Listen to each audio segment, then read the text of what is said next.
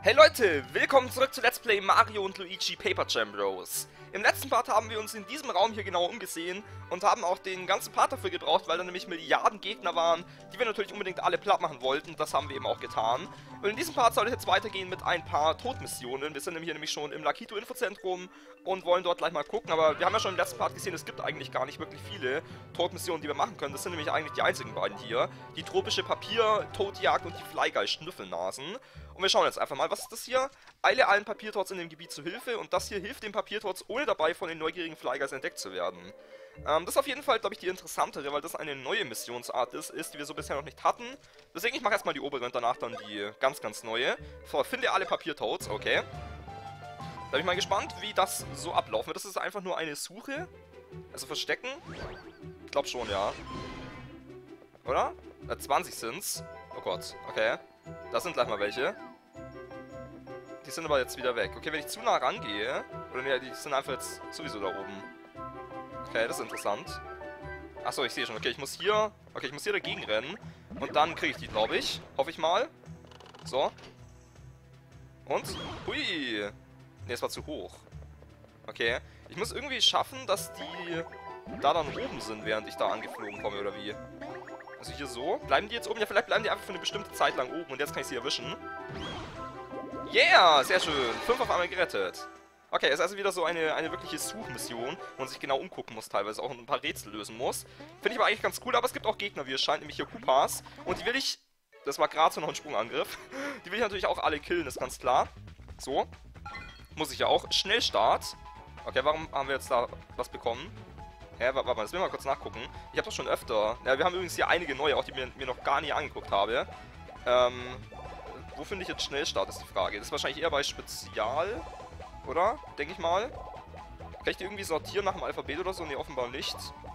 Äh, ich meine, hier, Schnellstart. Beginne, ach, beginne 100 Kämpfe im Vorteil. Ah, das haben wir jetzt geschafft. Okay, auch nicht schlecht. Gut, also wie gesagt, also ich glaube, ich werde mir ganz am Ende nochmal, wenn ich da die meisten dann habe, mir die nochmal alle angucken, dass wir auch wirklich und dass ihr auch wirklich wisst, was man eben immer tun muss für die ganzen Missionen. Aber jetzt erstmal kämpfen wir weiter. Machen erstmal einfach so einen Hammerangriff. Ich meine, Kupas haben wir im letzten Part jetzt häufig genug gesehen. Da sollte ich also ganz gut wissen, wie ich gegen die vorgehen kann. Der überlebt es zwar, okay, aber mit einem Hammerangriff wird auf jeden Fall der obere sterben und der untere nimmt auch einiges an Schaden, denke ich mal. Bam! Ihr habt der obere stirbt. Und der Tod ist sogar schon gerettet. Yay! Sehr schön. Aber den unteren besiegen wir natürlich auch noch mit Luigi, der macht auch einen Hammerangriff und das war's dann auch schon.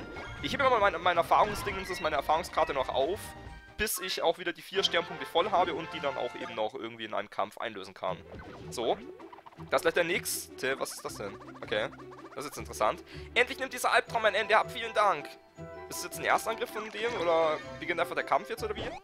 Nee, ich habe noch, ich habe wieder einen Sprungangriff noch irgendwie machen können. Ich frag mich nicht wie. ich habe es auf jeden Fall irgendwie schaffen können. Na gut. So, dann nochmal ein Hammerangriff. So, und bam. Haben wir Glück mit der Eisenkugel vielleicht diesmal? Ja, sehr schön. Oh, das ist so cool. Und dann reicht nämlich der Angriff von Paper Mario schon aus, um den zu besiegen mit einem Sprung nämlich. Das dürfte mehr als genügend Schaden machen mit unseren tollen Treffern vor allem, mit einem zumindest. 48 Schaden reicht auf jeden Fall, ja. Und wieder 52 Erfahrungspunkte geschenkt bekommen. Ja, also hier kann man wirklich leicht Erfahrungspunkte sammeln. In diesem Gebiet haben wir auch schon im letzten Part gemerkt. Also auf jeden Fall keine verkehrte Idee, das zu tun. Und wie gesagt, die Koopas sind auch wirklich sehr einfache Gegner. Deswegen, das kann man durchaus mal sich überlegen. So, der untere hat jetzt auch schon einen tollen Treffer bekommen. Deswegen würde vielleicht sogar schon ein normaler Angriff, äh, Hammerangriff auch ausreichen, wenn nicht mal die Eisenkugel runterfällt. Wir schauen mal kurz. Ja, tatsächlich, okay. Diese 6 Schaden extra oder so, was der tolle Treffer da gemacht hat, hat schon ausgereicht.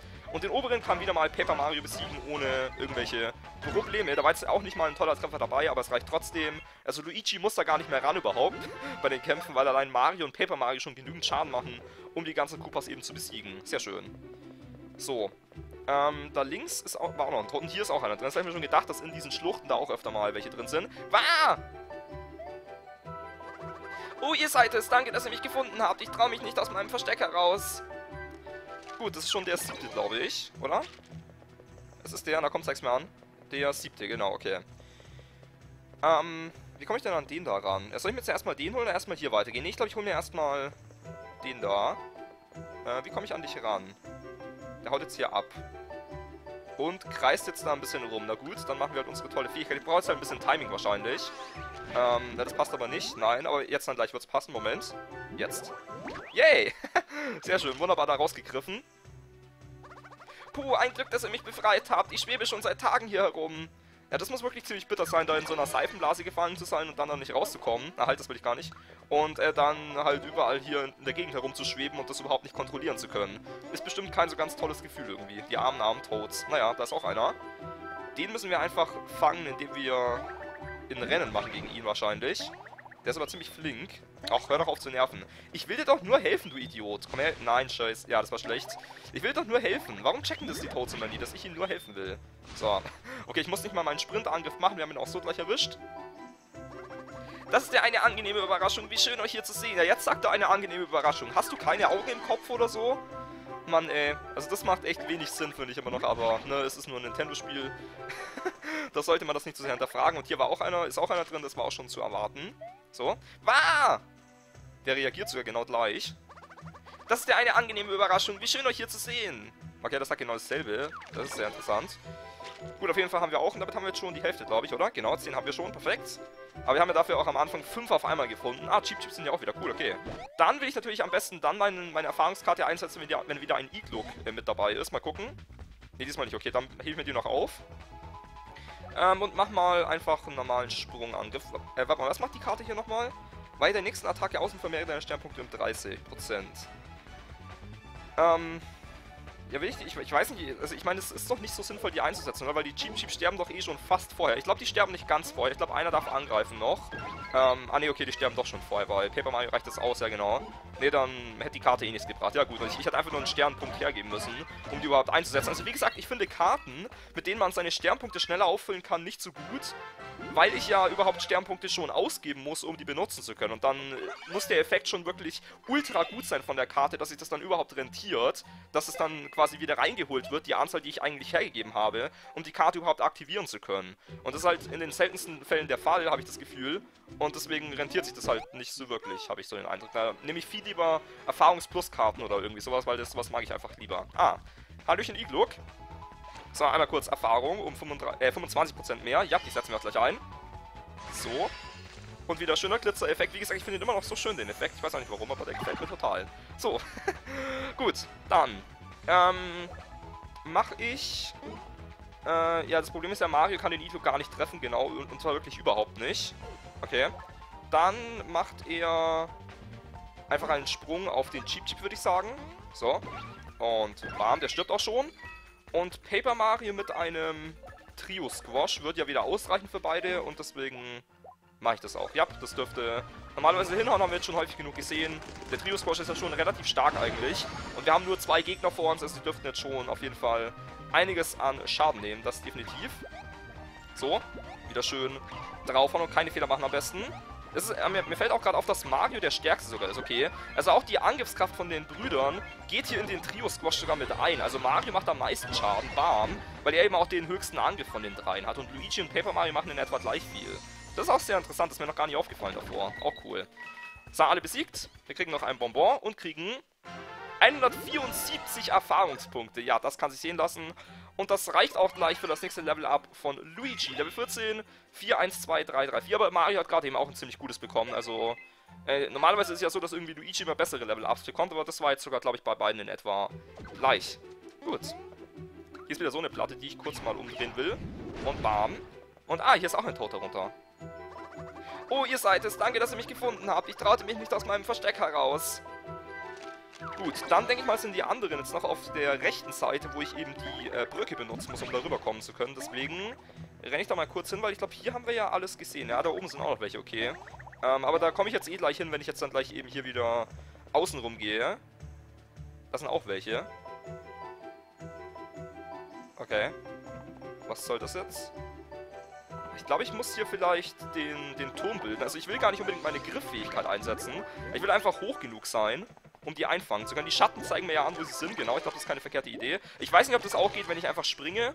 Äh, ob ich dann hoch genug komme, das könnte eng werden. Ich bin mir nicht ganz sicher, ob das klappen würde. Auf jeden Fall, so geht es ja auch. Deswegen passt alles. Und wieder gegen Koopas, gegen zwei wieder von denen. Also das kennen wir mittlerweile. nichts, nichts Neues mehr. So, Hammerangriff.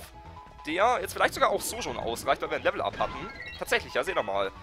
Da merkt man auch, wie wirklich... Ah, jetzt ist auch Luigi vorher dran, weil er eben auch ein Level-Up hatte. Da merkt man wirklich mal, wie wichtig solche Level-Ups auch wirklich sind, weil eben vorhin in den Kämpfen immer... Selbst bei Luigi reicht schon aus, wow. Das ist sehr gut. Weil eben davor es Mario nicht geschafft hat, selbst mit Erstangriff, einen Koopa mit einem einzigen Hammerangriff zu besiegen. Er brauchte entweder einen tollen Treffer oder eine Eisenkugel, aber jetzt braucht er keins von beiden und sogar bei Luigi reicht sogar auch aus. Das finde ich sehr verwunderlich, aber es ist so und das ist auch sehr gut, wie ich finde. Und ich muss dran denken, meine Karte übrigens umzudrehen. Kommt hier ein Igluk? Nein, okay, ist aber auch gut so, weil ähm, ich habe ja eh gerade keine guten Erfahrungsdinger. So, umdrehen. Perfekt. Und wir greifen an und kriegen wieder gleich neue Karten, die wir dann im Kampf hier einsetzen können. Also erstmal durchmischen. Und wir kriegen Ah, gleich mal die beste Karte momentan in meinem ganzen Set, wie ich finde, nämlich mehr Erfahrungspunkte. Aber wir brauchen noch ein paar mehr Sternpunkte. Ähm, das heißt, es wäre mir sogar ganz recht, wenn ich jetzt dann nicht als nächstes wieder gegen einen Cheap Cheap kämpfen würde, weil da eben ein Igluk auftauchen kann, ähm, wo ich dann mehr Erfahrungspunkte bekommen würde. Das heißt, ich werde jetzt erstmal, also an sich, da kommen bestimmt noch ein paar weitere Cheap Chips raus aus dem Wasser da. Aber ich werde erstmal noch ein paar weitere Koopas bekämpfen, weil hier waren doch noch welche, bevor ich die ganzen anderen Toads auch einsammle. Da ist nämlich auch noch ein, guck mal ja, auch noch ein Koopa. Aber die anderen Toads habe ich jetzt da alle schon auf einem Haufen gesehen, also wirklich suchen muss man die jetzt in der Mission eigentlich auch nicht, um ehrlich zu sein. So, äh, dich drehe ich auch um, dich brauche ich nicht. Das ist ein Hammerangriff. Der, wie wir gelernt haben, ja wieder ausreichen wird. Und bam, ohne tollen Treffer oder sonst irgendwas. Sehr schön. Und dann darf Paper Mario noch wieder mal... Ah ne, Luigi darf er zuerst, genau. Macht auch wieder einen Hammerangriff meinetwegen, passt schon. Ah, jetzt habe ich vergessen, die andere Karte da umzudrehen, aber... Ist es schlimm, passt schon. Und wir haben fast die äh, 5 Sternpunkte erreicht. Das heißt, ich muss noch einen weiteren Angriff dann gleich machen. Das muss ich aber schaffen, ohne gleich einen Gegner zu besiegen, wenn ich wieder gegen einen Cheap Cheap kämpfe. Ja, wir schauen mal. Unglaublich, der berühmte Mario hat mich gerettet, wenn ich das meinen Freunden erzähle. So, wie gesagt, bevor ich jetzt die anderen rette, ich will noch kurz wieder zurück da nach unten und äh, kurz wieder ans Wasser gehen, weil da bestimmt noch mehr Cheap Cheeps rauskommen werden. Oder? Echt nicht? Nur hier unten? Wirklich? Ansonsten kam da noch mehr raus. Okay. Ja, dann halt nicht mehr. Da hilft mir halt die Erfahrungspunkte-Karte sonst noch auf. Kann ja auch nicht schaden. Ja, und hier muss ich auch wieder hier sowas machen, den Griff wieder. Und, zeig, ich treffe sogar direkt. Okay, sehr cool. Wunderbar. Puh, ein Glück, dass ihr mich befreit habt. Ich schwebe schon seit Tagen hier herum. Also an sich, da sofort zu treffen mit dieser Grifffähigkeit, während man die zum ersten Mal einsetzt, also hier so, ist sehr schwierig, finde ich, weil da halt das noch ein bisschen verzögert ist. Aber wenn man einmal den Turm aufgebaut hat, dann kann man eigentlich ganz gut treffen, weil dann ist die Verzögerung nur sehr, sehr kurz. Aber beim ersten Mal gleich zu treffen, ist schon schwierig, finde ich. So, nach rechts darf ich hier auch nicht, okay. Und ich glaube, hier muss ich wieder einen Turm bilden. Also wir brauchen... Ja, scheiße. Wir brauchen die... Was? Ich mach doch. Wir brauchen die sprungfähig... Hä? Bin ich jetzt doof? Okay, jetzt... Hä? Bin ich jetzt blöd? Hä, what da?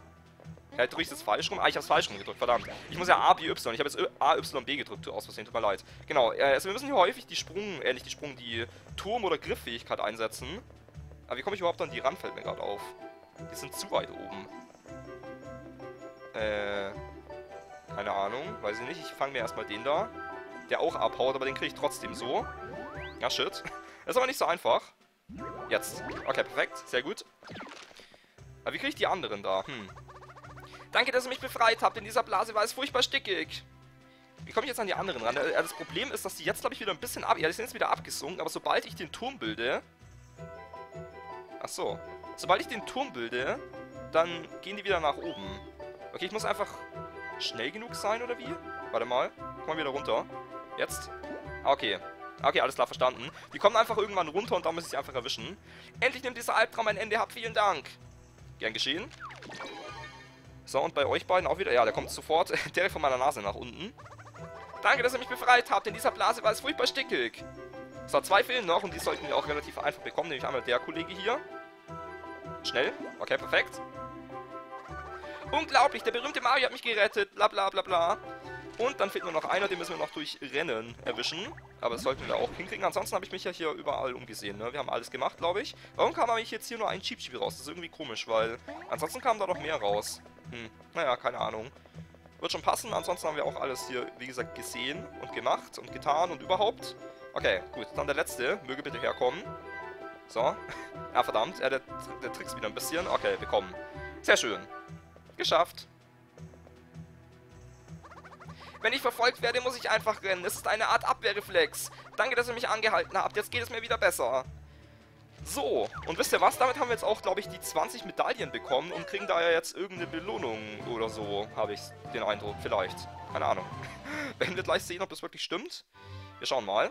So, wir kriegen auf jeden Fall 20 gerettete Toads oben drauf, haben jetzt schon 85 und eben auch 20 Sternmünzen. Kriegen wir jetzt gleich irgendwas?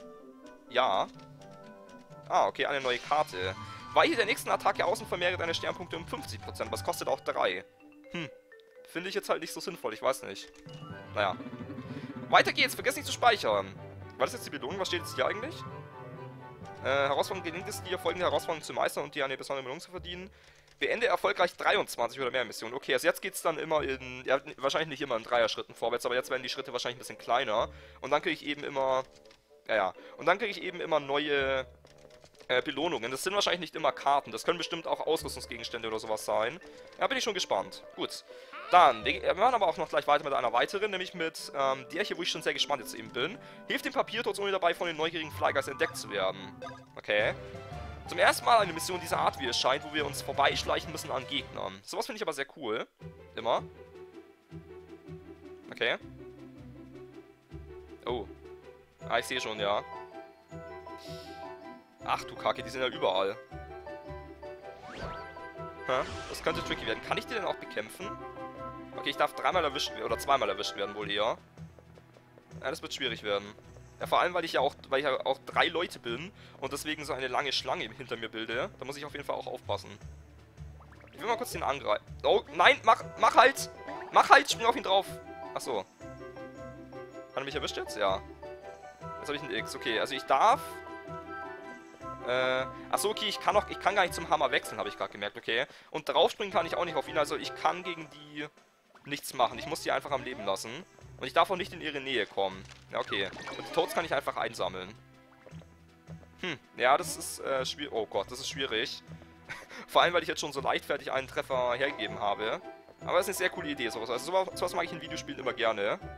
Muss ich sagen, aber die, Flyguys sind schon ziemlich doof, muss ich zugeben. Ich meine, warum halten die das Fernrohr so vor sich? Wenn dann irgendwas direkt neben ihnen ist, dann sehen die ja gar nichts. Aber ist ja auch gut so, weil ansonsten hätte ich keine Chance, an denen vorbeizukommen. So, jetzt. Okay. Ja, also immer schön vorsichtig sein bei dieser Mission. Okay. Aber es ist wenigstens alles ziemlich linear, wo ich hier durchgehen muss. Da ist auch wieder einer. Er ist natürlich immer am fiesesten. Oh Gott. Am fiesesten, wenn die so im Kreis durchgehen, das war knapp. Wenn die so im Kreis durchgehen und nicht einfach nur an einer Position äh, sich hinstellen wie der da und immer nach oben und unten gucken. Sondern wenn die sich auch noch bewegen, dann ist es echt ein bisschen tricky. Da ist einer einfach so, den kriege ich geschenkt. Okay, vielen Dank. Ähm, hier ist auch wieder einer, ja. Achtung. Oh Gott. Oh, der wird sogar von Zweien bewacht. Okay. Ich bin aber hier sicher hinter dem Felsen. Äh, ja, wie soll das jetzt gehen eigentlich? Ich weiß es nicht. Oh, shit. Nein, nein, nein, äh, nein, nein, ich bin irgendwie noch in die Arme gelaufen. Hilfe! Oh mein Gott. Oh mein Gott.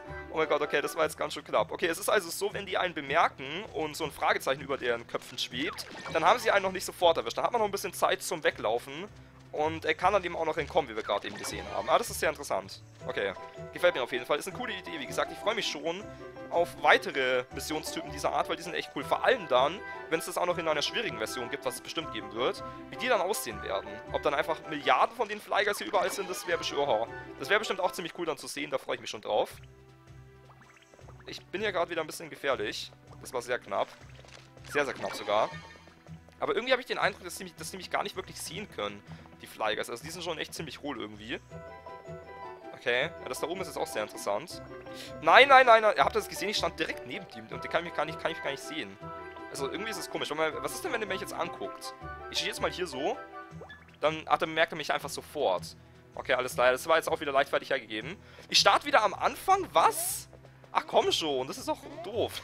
Okay, also wenn ich in der Nähe von ihnen bin, ähm, dann kommt das Fragezeichen und dann müssen sie sich erst noch nach mir umgucken. Und dann habe ich auch noch Zeit zum, zum Weglaufen. Wenn ich aber wirklich in ihr Fernrohr reinlaufe, dann bin ich, habe ich sofort verloren und verliere sofort ein X. Ja, okay, verstanden. Das macht die ganze Sache aber nicht einfacher, vor allem wenn ich wieder zum Anfang zurückgeworfen werde. Das ist schon ziemlich fies. Ich meine, das ist echt doof. Ich wollte nur ausprobieren. Oh mein Gott. Warum hat er mich bemerkt? Keine Ahnung. Ich wollte nur ausprobieren. und dann werde ich hier gleich so bestraft vom Spiel. Das ist doch echt fies, oder? Ich finde schon. Ähm, ja, ja. Habe ich eigentlich hier alles erkundet? Da unten war ich auch. Bin ich ja gerade eben dann hingegangen, ja. Auf der linken Seite habe ich mir alle Tods geholt, oder? Ich, ich gucke jetzt noch mal ganz kurz, ich glaube zwar schon. Obwohl, nee, habe ich nicht, da oben war ich auch nicht. Ja, siehst du mal. Ich hätte eh nochmal zurückgehen müssen dann. Ähm. Oh Gott. Wollen die jetzt ernsthaft das von mir, was ich denke? Okay, warte kurz. Oh mein Gott. Ich werde verkacken. Jetzt. Oh mein Gott. Oh mein Gott, okay. Ich muss genau dann durch, wenn die beide in der Mitte sind. Das ist aber schwierig. Jetzt. Oh Gott. oh, mein Herz. das, ist, das, ist echt, das ist echt sehr spannend hier. Und auch echt cool gemacht, finde ich. Also das gefällt mir definitiv. Und da links war ich auch, ne? Da müsste alles passen. Ja, okay. Das heißt, da auf der rechten Seite sind dann noch drei weitere Toads, die ich dann noch irgendwie kriegen muss. Ja, okay. Ja, das ist echt, ist echt nicht einfach. Okay, hier durch, ja. Das haben wir schon alles gesehen. Nein, nein, nein. Oh mein Gott. Boah, immer wenn dann ein Fragezeichen über deren Köpfen auftaucht, dann bin ich kurzzeitig dermaßen aufgeregt. Das heißt, da ist noch einer, ist hier aber noch... Ja, aber hier muss noch einer sein. Hier muss noch ein dritter sein, weil ansonsten habe ich ein Problem. Okay. So, wir warten kurz. Der ist einfach eigentlich, weil der nur von einem bewacht wird. Sagte ich. Oh mein Gott. Ja, das, ist, das Problem ist natürlich, dass der Flyguy sehr nah an dem Tod dran ist und ich deswegen den nicht einfach bekommen kann. Kann ich den irgendwie schleichen? Ich glaube nicht.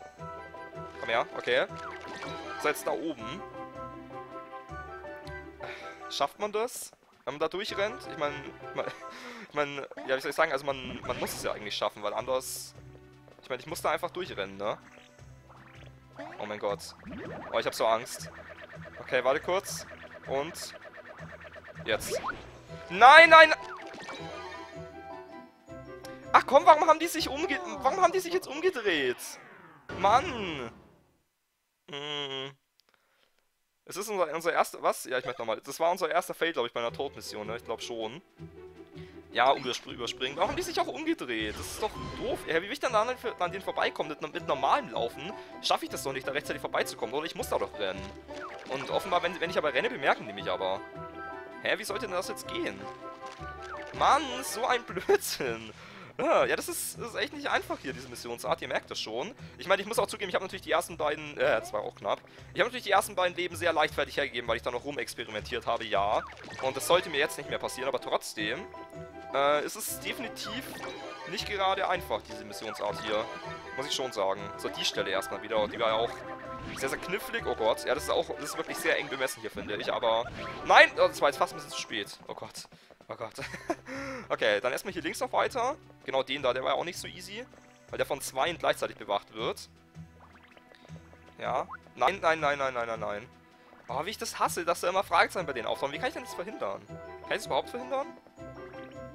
Okay, jetzt bemerken die... Oh, die sind aber auch echt dumm. Nein, nein! Scheiße. Ja, das ist natürlich doof, wenn ich da in der Mitte stehe von denen und die mich dann bemerken. Was hätte ich da als anderes eigentlich machen sollen? Hm, das ist echt ein bisschen doof, aber ich, ich habe das Gefühl, dass wenn ein Fragezeichen erscheint über der ihren Köpfen, äh, dass sie dann trotzdem nicht von ihrer eigentlichen Route, die sie immer gehen, abweichen. Also die bleiben, also die laufen immer trotzdem genau dieselbe Route ab. Ich will mal kurz nochmal was testen.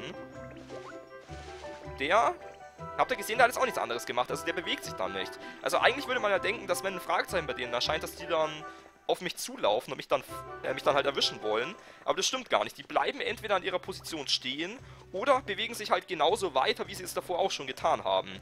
Das heißt, gerade eben hätte ich wahrscheinlich einfach in der Mitte bleiben können und die hätten mich nicht bemerkt, weil das Gute ist ja auch, dass die Flyguys nicht diagonal schauen können, sondern immer nur geradeaus. Deswegen, wenn ich irgendwie schräg von denen... Oh Gott. Oh mein Gott. Wenn ich irgendwie schräg von denen stehe, dann können die mich gar nicht sehen. Sehe ich das richtig?